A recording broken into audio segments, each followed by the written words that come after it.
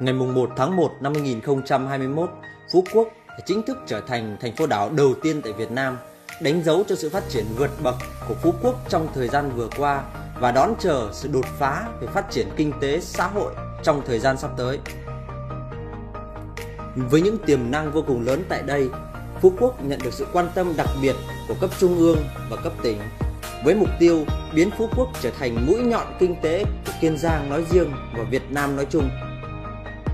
Nơi đây được tập trung đầu tư cơ sở hạ tầng đồng bộ như sân bay quốc tế, các cảng biển, hệ thống giao thông đường bộ, trục Bắc, Nam, đường vòng quanh đảo, hệ thống điện lưới, hệ thống nước ngọt và rất nhiều các công trình lớn khác.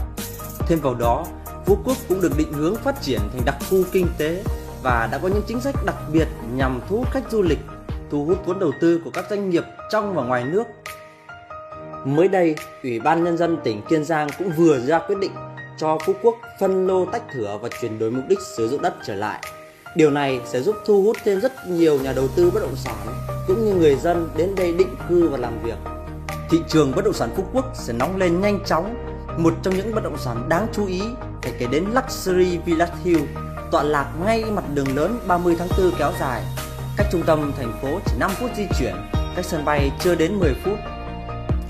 Đây là bất động sản không thể bỏ qua không chỉ bởi sở hữu vị trí kim cương mà đây còn sở hữu pháp lý rõ ràng mang lại tính an toàn tuyệt đối với sổ riêng cho từng lô đất.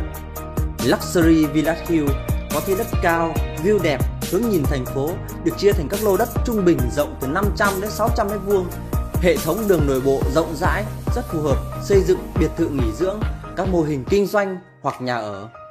Ngoài chính sách hỗ trợ rất ưu đãi của ngân hàng, Đặc biệt hơn nữa, với mức giá vô cùng hấp dẫn, chỉ từ 10 triệu cho một mét vuông, quý khách hàng dễ dàng có thể sở hữu cho mình một bất động sản vô cùng tiềm năng tại nơi đây.